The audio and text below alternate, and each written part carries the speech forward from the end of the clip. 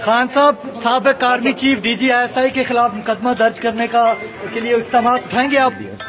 नवाज़ शरीफ को बुलाना। नवाज़ शरीफ को वज़ीर दाखिला चौधरी निसार अली खान के खिलाफ मुकदमा दर्ज कराएँगे खान साहब। परवेज खटक को भी कहा कि मुकदमा दर्ज किया जाए परवेज खटक के खिलाफ सर। परवेज खटक के खिलाफ मुकदमा दर्ज कराएँगे।